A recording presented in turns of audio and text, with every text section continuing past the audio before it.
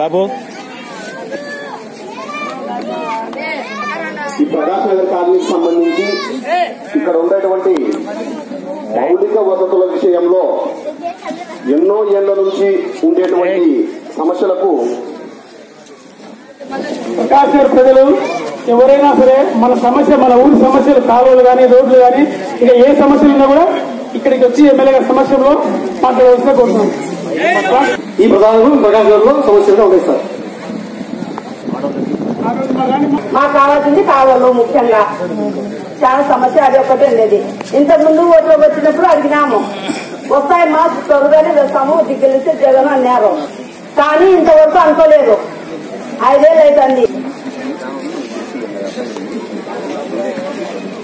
కాలువలు రోడ్లు శ్మశానం కాకుండా ఎందుకంటే ఎమ్మెల్యే గారికి అన్ని తెలియపరిచాం తెలుసు. ఇప్పుడు మాట్లాడిన కూడా ప్రిపేర్ కాలువలు రోడ్డు మీద ఉండకుండా అందంగా ఉండాలంటే కదా ఒక మూడున్నర కోటి అధికారులు చెప్తున్నారు. ఉన్నారా ఇన్ని అధికారులు? లెంకులు కొలిచి ఫైనల్గా రెండు కోట్ల నలభై లక్షలు. మొత్తం కాలువలు అవుతాయి సార్. ప్రతి ఒక్క వీధి కంప్లీట్ అవుతుంది ఎక్కడే కానీ పెండింగ్ లేకుండా కంప్లీట్ అవుతాయని చెప్పడం జరిగింది. డ్రైన్లో కన్నా రోడ్డులో ఎక్కువ పడతాయి. ఈ రోడ్డు మీద వచ్చేసి ఆ డ్రైన్లో పోలేవు డ్రైన్ ఎత్తులో వచ్చేసింది మీరు డ్రైన్ ఇప్పుడు వేసుకున్నారు డ్రైన్ ఎత్తు వచ్చేసింది లెవెల్ కోసం ఇప్పుడు ఈ రోడ్డులో ఆ ఫ్యాక్టరీస్లో కొన్ని స్ట్రెచెస్లో కొన్ని లెంతుల్లో రోడ్డు మళ్ళా వేయాల్సి వస్తుంది.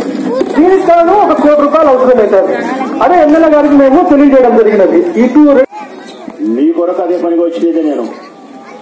నేను గడప గడపకు తిరిగినప్పుడు మీరు చెప్పిన కంప్లైంట్ ఏమైతే ఉందో ఆ రోజు నుంచి వరకు ఈ రోజు నా హృదయంలో నేను భేదిస్తాను కాబట్టి ఆ సమస్యని పరిష్కరిస్తా పరిష్కరిస్తానని చెప్పి మీకు నేను మాట ఇచ్చినా కాబట్టి ఆ మాటకు నేను కట్టుబడి అది పరిష్కరించాలని చెప్పి మళ్ళీ మీ దగ్గరికి రావడం.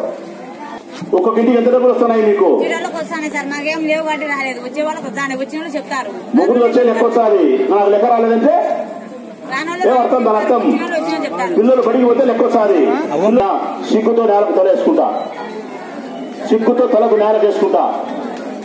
ఇది జగనన్న ప్రభుత్వం. నిష్పక్షపాతమైన ప్రభుత్వం అర్హత ప్రతి వారికి ఇస్తుంది. దళారి వ్యవస్థ లేదు లంచగొండితనం లేదు ఎవరి కాళ్ళు ముక్కాల్సిన అవసరం లేదు. మీరే చెప్పండి లంచం ఇచ్చినారేమో లంచం ఇచ్చినారమ్మా ఎవరికన్నా? ఎవరి కాళ్ళన్నా ముక్కినారా? మీ ఇంటికాడికే వాలంటీర్ వస్తున్నాడు మీ ఊళ్ళోనే సచివాలయం ఉంది. మీకు కావాల్సిన పని చేసి పెడుతున్నారు.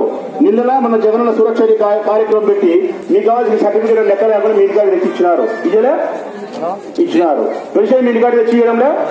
ఇచ్చినారు. మీకు ఏమన్నా కావాల్సిన వాలంటీర్ రావడంలే?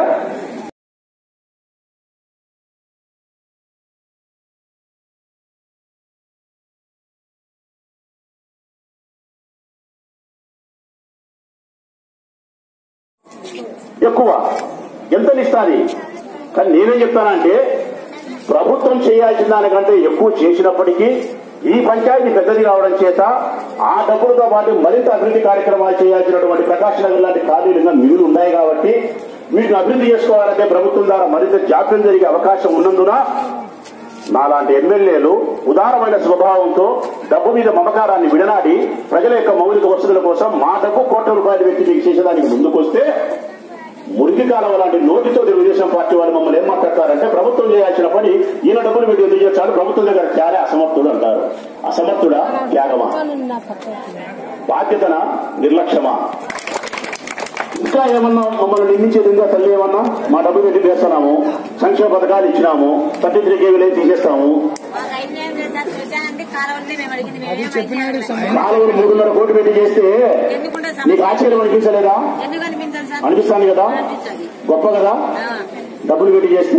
చేసే నా మంచిది కాబట్టి చేయిస్తానమ్మా ఇది నా మంచిది కాబట్టి చేయిస్తాను నా జాతిది అయితే మూడు వందల కోట్లు తెచ్చి నేను పెడితే నాకు ఇంట్లో పువ్వు పెట్టదు. కరెక్టా కాదా చెప్పండి మరి? మీ మూడు ఒకటి మనం చూస్తాం మీరు రాణిస్తారా మీ ఇంటికి ఏమ్మా?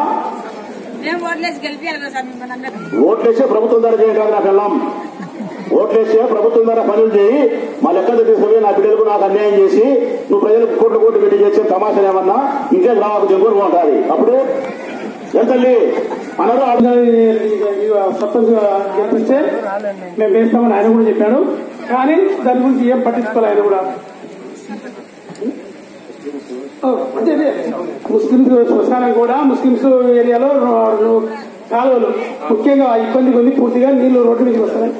ముందు ఫస్ట్ అదే మొదలు పెడతామన్నారు ఇంతవరకు ఏం చేయలేదు అది చాలా బాధాకరమైన విషయం.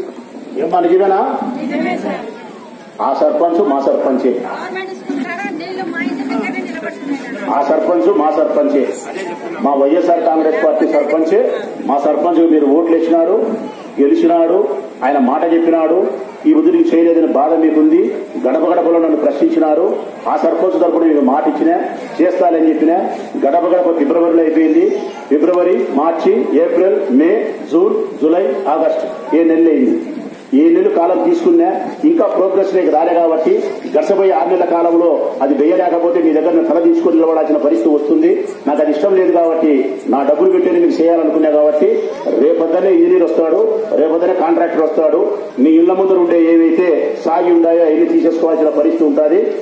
ఆ ఇంజనీర్ వచ్చినప్పుడు ఆ కాంట్రాక్టర్ వచ్చినప్పుడు మీ ఇళ్ళ ముందు ఉండే బండలు కానీ ఇంకోటి కానీ జాలాడు గుద్దలు కానీ ఉంటాయి వెళ్ళి తీసేసుకుంటే కదా కాలువలు రేపు నుంచే మొదలు పెడతారు. మీరు సహకరిస్తారా? సహకరిస్తారా? సహకరిస్తారా ఏమ్మా అన్నా? సహకరిస్తారు కదా? ఏదో సారు మీరందరూ స్వచ్ఛంగా వారు సహకరిస్తే ఏదో మొదలు పెడతారు పని పూర్తి చేసి బయటికి పోతారు. ఓట్ల కోసం అంటే వాళ్ళు ఇయ్యలేదా అని ప్రశ్నిస్తా ఉన్నా నేను. వాళ్ళు డబ్బులు ఇయ్యలేదా అని ప్రశ్నిస్తా ఉన్నా తెలుగుదేశాన్ని. అన్ని రాజకీయ పార్టీలు ఇస్తున్నాయి. అది సాంప్రదాయబద్ధం అయిపోయింది. అది తప్పు తెలుసు. అది ప్రజల్లో చైతన్యం వచ్చి ప్రజలు ఎప్పుడైతే వద్దంటారో అంతవరకు అది ఎవరు చేయగలిగిన పరిస్థితి లేదు. దాని లోతుకు పోవాల్సిన అవసరం కూడా అనవసరం. కానీ ఇక్కడ నేను చెప్పొచ్చేది ఏంటంటే మీడియాకు డబ్బులు పెట్టి ఓట్లు కొనే రాజకీయ నాయకులు ఉండే కాలంలో మా ఆస్తులన్నీ ప్రజలకు మౌలిక వసతులు ఏర్పాటు చేసే మాలాంటి నాయకులు కూడా ఉన్నారనే సత్యం తెలుసుకోవాలా? తెలుగుదేశం పార్టీ వాళ్ళు. వాళ్ళు డబ్బులు పెట్టి ఓట్లు కొనేది చూస్తున్నారు డబ్బులు పెట్టి ఓట్లు కొనేది కాదు. మా ఆస్తులు అన్ని ప్రజల కోసం మౌలిక వస్తువులు ఏర్పాటు చేసే విధానానికి కూడా శ్రీకారం చుట్టాం. ఈరోజు మా డబ్బులు పెట్టి ప్రజలకు మౌలిక వస్తువులు ఇస్తున్నాం. మా డబ్బులు రావాలంటే ఎక్కడి నుంచి వస్తాయి? మా ఆస్తులు అమ్మితేనే డబ్బులు వస్తాయి. మరి మీరు డబ్బులు పెట్టి ఓట్లు కొంటున్నారు మా ఆస్తులు అమ్మి మేము ప్రజలకు మౌలిక వసతులు ఏర్పాటు చేస్తున్నాం. ఈ వ్యత్యాసాన్ని తెలుగుదేశం పార్టీ నాయకులు కూడా గ్రహించాలా? మీకు మనసు ఉంటే మీ ఆస్తులు కూడా అమ్మి ప్రజల కోసం ఖర్చు పెట్టండి.